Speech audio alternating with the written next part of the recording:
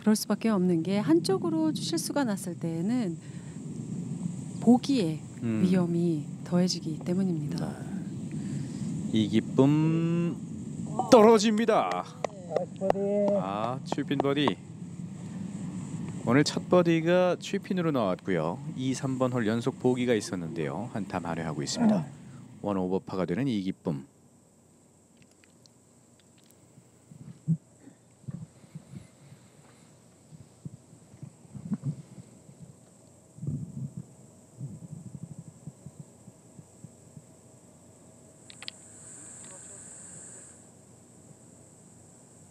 최예림 선수의 모습인데요.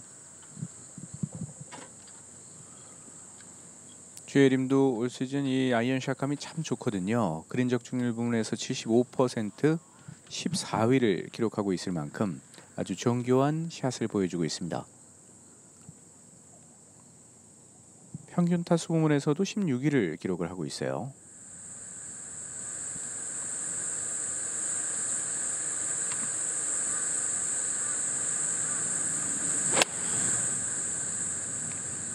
(130m) 거리.